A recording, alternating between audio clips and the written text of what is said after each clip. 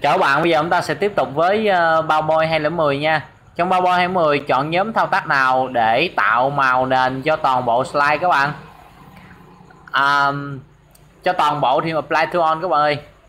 Nha. Nếu chọn 3 slide và dùng lệnh duplicate thì mình sẽ tạo thêm 3 slide mới, tạo ra đây nó hỏi là tạo ra thêm mấy slide thì mình nói tạo thêm 3 slide mới nha. Trong bao bôi 10 tổ hợp phím nào đây cho phép tăng kích cỡ của đoạn văn bản được chọn thì mình sẽ Ctrl Shift và và mình sẽ bấm nút nút qua nút lại à, mà đề yêu cầu là tăng tăng thì đi qua nha.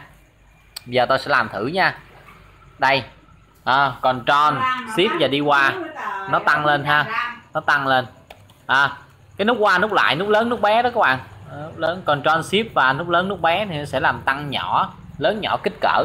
Để yêu cầu là tăng tăng thì mình sẽ nút lớn nút nút nút lớn. Ha nút lớn trong PowerPoint 2010 một effect option kiểu ứng chuyển đổi sharp thì có mấy kiểu các bạn cái sharp này tôi tôi cũng cũng không biết nó có cái gì. Ha. bây giờ tôi sẽ chọn thử coi nha. Sharp đâu rồi bạn ơi.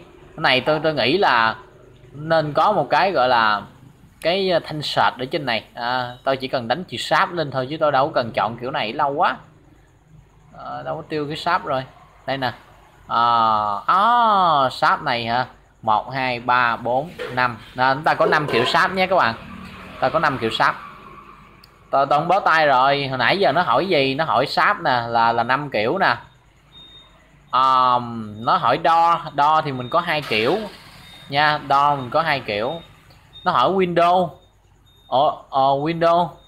Window thì mình có uh, nhiều kiểu quá ta. Ở window thì hai kiểu. Đo cũng hay luôn hả?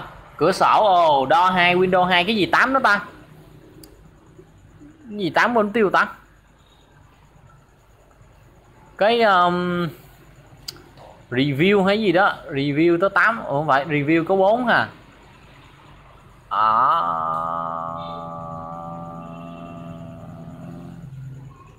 chắc rô tay quá.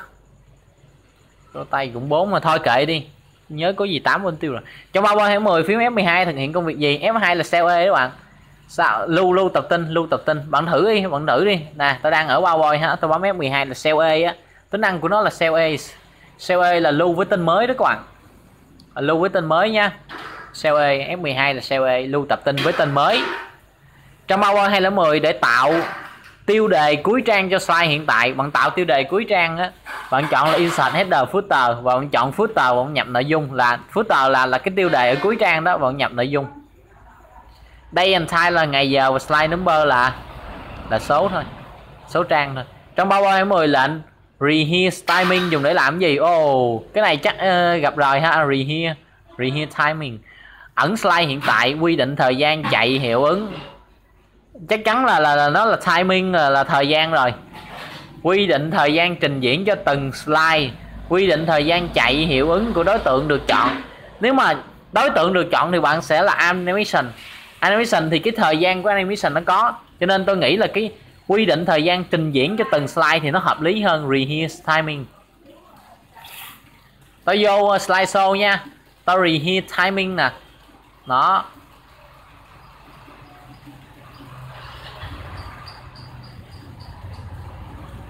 Hai, ba, bốn. Nhảy đi. Không phải hả? Cái này là recording gì rồi? Total time for the slide show were 13 giây. Do you want to keep the new slide timing to use when you view the slide now? Oh rồi rồi tôi hiểu rồi tôi hiểu cái cái cái cơ chế làm việc của rehear timing rồi. Rehear timing nó có ý nghĩa như thế này. Nó sẽ cài đặt thời gian cho từng cái slide nó sẽ tự nhảy và nó cài đặt dựa trên cái gì? Làm sao nó biết cài đặt như thế nào? Là đầu tiên là nó sẽ chiếu cái slide 1 nó chiếu slide 1 các bạn. Rồi xong cái mình bấm nút qua slide kế. Xong đó, nó sẽ đếm thời gian. Slide 1 là 3 giây. Thì nó sẽ áp dụng vô này là transition của này là 3 giây. Sau đó nhảy qua slide 2 slide 2 mình mình ngồi mình đọc. Chắc là 6 giây mới đọc xong cái slide 2 này. Mình bấm nút qua slide mới. Thì nó sẽ ghi record lại. À slide 2 này người dùng nãy coi là 6 giây à 6 giây thì tôi sẽ áp dụng cái transition chuyển đổi slide tự động nhảy á, là 6 giây cho slide 2 các bạn nắm được vấn đề không? Nó dựa trên cái thời gian mình coi rồi sau đó nó áp dụng lại. Nó là quy định thời gian trình diễn cho từng slide luôn từng slide luôn mỗi slide có một thời gian khác nhau. Trong PowerPoint 2010 chọn phát biểu nào là đúng? Vào file Option Cell Default Location để cài đặt mã cho tập tin là sai nha. Trong Option mình chỉ cài đặt những cái thông số chung thôi có 8 nhóm hiệu ứng đối tượng. Cho các đối tượng trên slide 8 nhóm hiệu ứng không có. Animation là nhóm hiệu ứng cho cho đối tượng là mình animation mình có chỉ có bốn nhóm thôi. Mẫu bố cục to content có 3 placeholder là đúng nhá to content là có cái title ở trên và hai cái cột à, à, ở. Content ở ở hai hai bên nha trong PowerPoint 2010 bây giờ tao hiểu placeholder của nó là gì luôn rồi. Placeholder của nó là cái này nữa bạn một hai nè. Thằng này có hai placeholder nè. Trong PowerPoint 10 cách nào để trình diễn một slide đã được chọn các bạn? À, để trình diễn một slide đã được chọn. À, cho mình ship F5 quá. Tại bấm F5 là mình sẽ trình diễn từ đầu. Ship F5 là mình diễn từ cái slide đã chọn. À, ví dụ như tôi đang đứng ở slide 10 tôi muốn trình diễn từ slide 10 ví dụ đang đang đang đang chiếu chiếu tới slide 10 cái tôi thấy nó hư. Các bạn hình dung được không? Tự nhiên cái cái nó nó có cái lỗi gì đó. Thì tôi phải dừng lại tôi sửa tôi sửa lỗi chính tả rồi sau đó tôi bấm shift F5 để tôi quay lại trình chiếu từ slide 10 chứ tôi đâu có đi từ slide 1 tốn thời gian đúng không? 110 trong PowerPoint 2010 khi chèn hiệu ứng cho đối tượng trên slide, muốn hiệu ứng xuất hiện đồng thời khi trình chiếu. Ở một star tôi chọn là quick review thôi, đồng thời mà. Là cùng với cái thằng thằng trước thôi trong PowerPoint 10 lệnh nào đây cho phép quy định thời gian và lòng giọng nói cho từng slide? Quy định thời gian và lòng giọng nói cho từng slide là mình sẽ là reheat timing. À, từng slide luôn á. Reheat timing custom slide show ha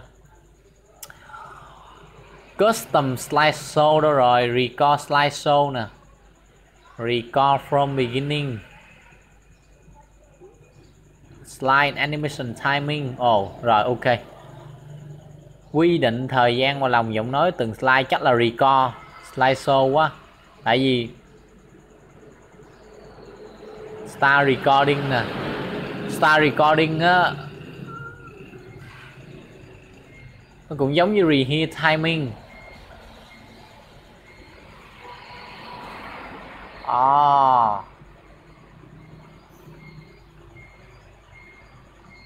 à y chang các bạn ơi nè nó có có những cái âm thanh ở trong này nữa nè. Star recording nè. oh, Star recording à nó thêm âm thanh vô nữa các bạn ơi. À. Ô oh, hay ta. À vậy vậy tính năng record slideshow này á tao có thể à, làm một một cái bài giảng ở trên online luôn á các bạn. Có thể làm bài giảng online trên slide này. Cái tôi vừa làm vừa nói tôi record mà. Tao record slideshow này cái nó ghi âm vô đây ồ oh, cái tao xuất ra một cái file ờ, uh, mp4 ồ oh, ngon tá hay đáp án này không phải là rehear timing ha mà là phải là record tại vì nó có lòng giọng nói nữa. Nó có lòng thêm giọng nói nữa phải là record. Nó record nó mới ghi lại giọng nói được. Hay quá bạn ơi. Bao bôi nó 10 chuẩn biểu sai design page setup để cài đặt trang in khổ giấy chính xác nha nhấn tổ hợp shift chính để bật tắt khung lưới rồi hiệu ứng chuyển đổi các trang orbit thuộc nhóm subtle không có ha subtle nè transition nè. Tại vì hai câu kia tôi chắc ăn đúng rồi. Subtle orbit nó nằm ở uh, dynamic content lận. Orbit nè. Trong PowerPoint 10 cách nào để trình diễn từ slide đầu tiên? Bấm F5 nha. F5 nó sẽ trình diễn từ slide đầu tiên. Trong PowerPoint 2010 để thu âm thanh bên ngoài và chèn vào slide ta chọn gì? Insert audio đúng rồi. Nhưng mà từ record audio. Mình thu mà. Mình thu âm thanh mà. Mình phải record mình mới thu được. Còn clip audio với audio rom file là nó đã, đã là bên ngoài lâu rồi nó là cái file rồi. Còn mình phải vừa record mình vừa ấy. Ba boy nữa 10 chọn phát biểu đúng.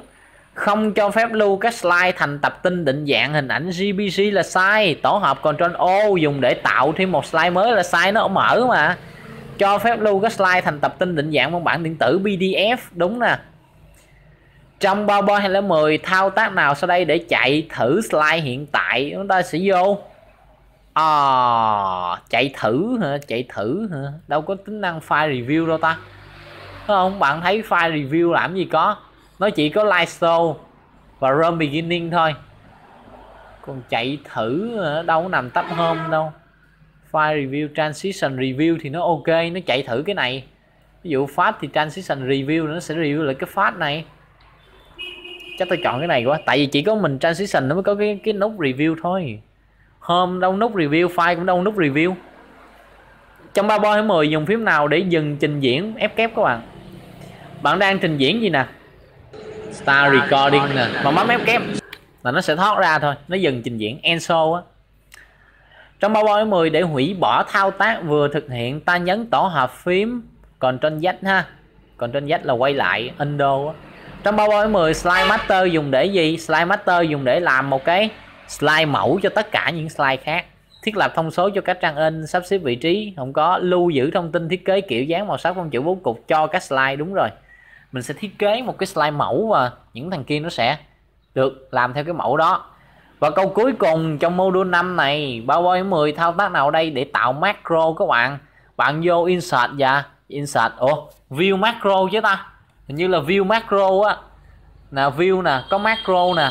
Macro á, nó nó đơn giản, nó chỉ là một cái ờ, mã, đoạn mã để mình mình chạy thôi. Cái này ờ, bạn không cần biết đâu. Nha, bạn không biết đâu.